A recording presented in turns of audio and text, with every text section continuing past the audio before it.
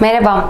Bugün size varant piyasasından bahsedeceğiz. Pegasus hissesindeki hareketlilik Pegasus satın varantlarına da yansımış durumda. Eylül vadeli Pegasus satın varantlarında yine SPK ihraç tavanına ulaşmış durumdayız. Bu nedenle burada satış kotasyonu gösteremiyoruz. Ayrıca bu vadede makaslarında oldukça açık olduğunu görüyoruz. Burada işlem yapmak isteyen yatırımcılarımızın Ekim vadeli varantlarımıza yönelmeleri daha uygun olacaktır. En çok işlem gören varantlar listemizde ise Pegasus varantlarının yanı sıra Brent petroldeki yaklaşık %2'lik artışa paralel olarak Brent petrol alım varantlarını görüyoruz.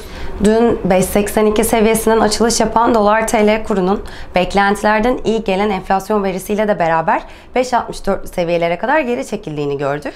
Piyasa beklentisi 1.30 iken 0.86 ile sürpriz yapan enflasyon verisi sonrasında ise kurumumuzun Merkez Bankası faiz indirim beklentisi 250 bas puan civarında.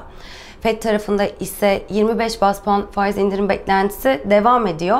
Ancak 50 bas puan bekleyenlerin sayısında da bir artış görünüyor. Bu haberler sonrasında dolar TL alım varantlarında pozisyonlanmanın arttığını gördük. Piyasa yapıcı kotasyonlarımızı işvarat.com sitemizden takip edebilirsiniz. İşlem yapmadan önce piyasa yapıcı kotasyonlarını takip etmeyi ihmal etmeyin. Bugünlük aktaracaklarımız bu kadar. Bizi dinlediğiniz için teşekkür ederiz.